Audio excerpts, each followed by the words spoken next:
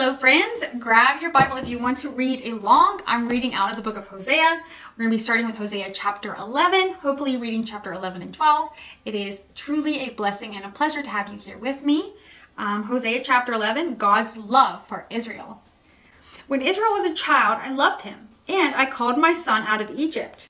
But the more I called to him, the further he moved from me offering sacrifices to the images of Baal, and burning incense to idols. I myself taught Israel how to walk, leading him along by the hand. But he doesn't know or even care that it was I who took care of him.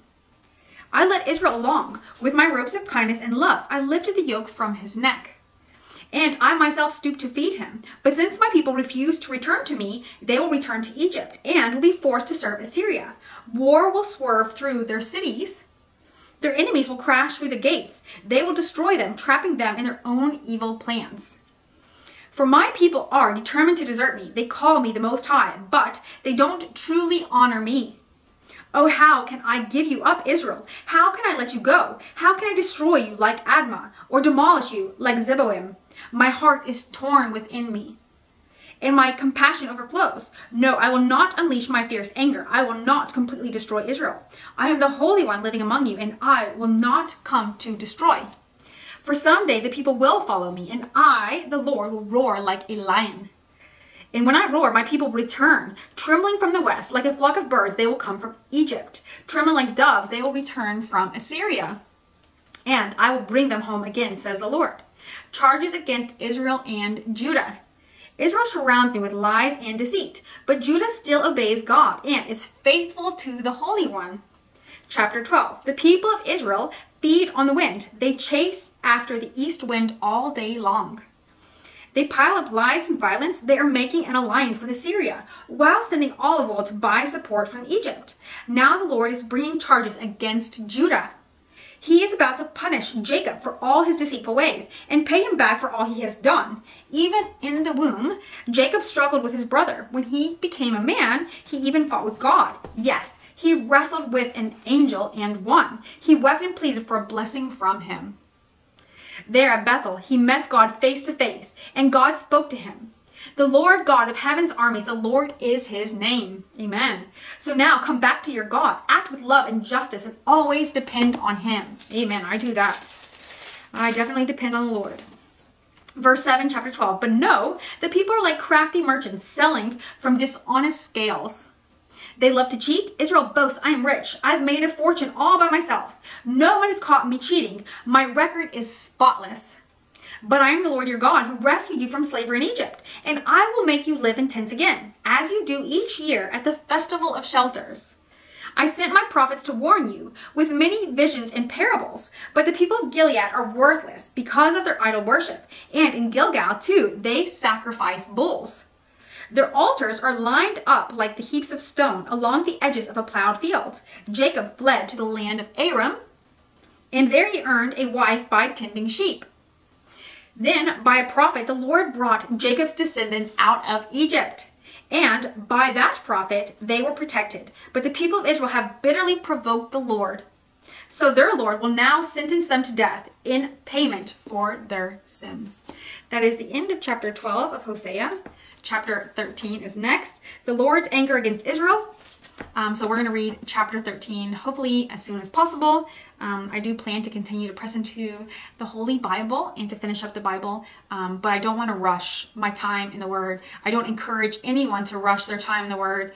And I have mentioned this in way older videos of reading the Bible that even though we're sitting here and reading through the Bible, there are so many different ways to read through the Holy Scriptures. Some people choose to read a proverb a day or a psalm a day. Some people like to read from cover to cover. There are times where it's nice to go through very slow. There are times where it's nice to go through and read it and then spend quiet private time in prayer and meditation about the Word of God. It is beneficial to our heart and souls to be spending time with God, to be praying to God, to be crying out to the Lord. And it is important, in my opinion, and I am of no position of authority whatsoever, um, but I do feel like the more time we spend with God is the better. And that's going to be different for everybody. Some people might enjoy reading through it like a textbook, even though it's very far from being like a textbook, but it depends on where you're at in your journey. There may be people here that don't believe. There may be people here that definitely think that the Bible is just folk tale and it's not real, it's just fantasy. Um, and it doesn't matter where you're at, it's still beautiful that you're here and I love to learn. I do believe that it's important to search for the truth in things, and I think the Bible is incredibly reliable. It's very dependable. It has stood the test of time. It is the breathed word of God. Every single verse of scripture is profitable to us, and how you choose to go through the scriptures is totally up to you. You can watch a video a million times. You can read one verse at a time. That is between you and God that is not between anyone else. But it's also beneficial to come together into fellowship and read the Bible, but you can move at whatever pace God sets on your heart. Um, I enjoy every second in the Word.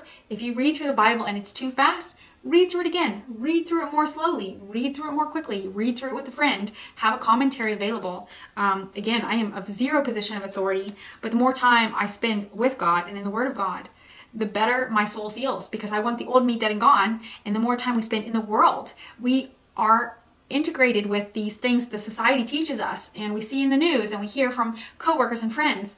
It's so important to be spending time in prayer, reading the Holy Bible. And I'd rather spend 10 minutes reading through it somehow, however, than not at all. So thank you for joining me. And I'm just going to uh, end in a quick prayer.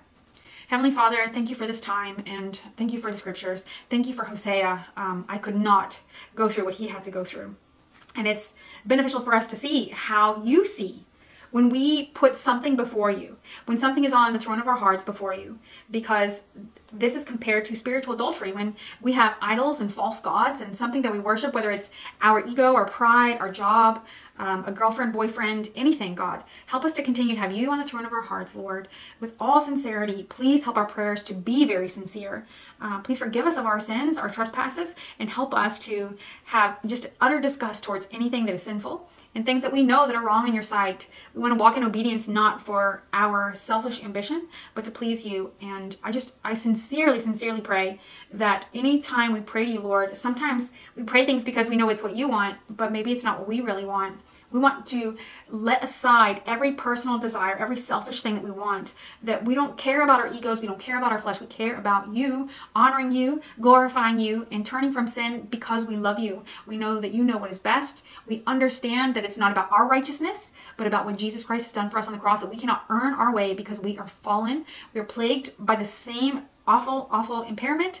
We all are plagued with sin, Lord, and we just ask for your forgiveness. We ask to repent. We ask for your help. Um, we want to be guided by the Holy Spirit living in the new way of life that we we can put off our old self the filthy clothes that we are riddled in by our sin and to put on the newness of christ because of what he's done for us on the cross um, anyone that has not chosen to believe in christ i just ask the holy spirit moves in their lives and even for those who have chosen that the holy spirit's with them in whatever they're going through i have very dear friends that do not believe and so often they do not believe because they see so many Christians to be hypocritical. And we ask to be very humble, understanding, gracious, merciful, and kind. It is not about who we are and how great we are at anything. We are not any more special than anybody because of anything in us. We are all sinners, every single person, and we are image bearers of you, God. So we just ask to be forgiven and to be walking in holiness, to show and share the good news and that they can see that it's not about our imperfections because we are just as broken as everybody else. I am as wretched as the next person in line. It's not about my holiness, my goodness, my eloquence because it's not there. I, I don't have anything to bring to the table. There's nothing that I bring to my salvation other than my sin. I lay this down at the foot of the cross, and I know that my brothers and sisters here do as well. So please be with them, Lord. Um, help us to sleep. Help us to rest. Help us to have energy and vigor to serve your most glorious kingdom. It is in the name of Jesus Christ, my Lord and Savior, that I pray. And um, Thank you for this opportunity to gather together. Please be with my brothers and sisters, Lord. Amen. Thank you so much, Jesus. Thank you. Okay, chapter 13 will be next. I hope to see you very soon. Bye-bye.